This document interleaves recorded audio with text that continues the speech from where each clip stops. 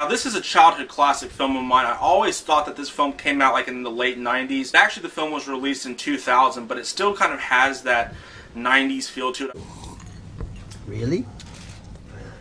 Now, on to the performances. Uh, Jason Biggs, who I think is a very underrated actor. I mean, still nowadays, he's always going to be known for like American Pie and everything. But I think Jason Biggs is a very great underrated actor. He's not even legitimate. Uh, a lot of people are kind of hit and miss on Mina Suvari. I mean, she's absolutely gorgeous. Mina Suvari, you know, she's just very likable. You can be, and are wrong. It's kind of like a D-bag in this movie, even though he's a college professor and everything.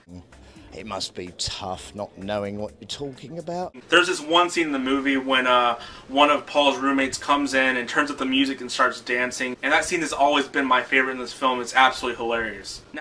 This man is mentally ill.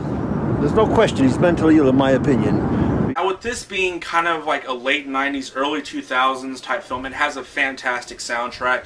It's just a great, fresh, kind of witty and hip romantic comedy. You know, that is an absolute crock of It's sad to see that there aren't a lot of movies like this nowadays. So that was my review of Loser. After seeing it for the last time, I wanted to kind of give it maybe a 9 out of 10, but I think because of that nostalgia factor and that there just aren't movies like this nowadays. So because of that, I'm going to give it a solid 10 out of 10.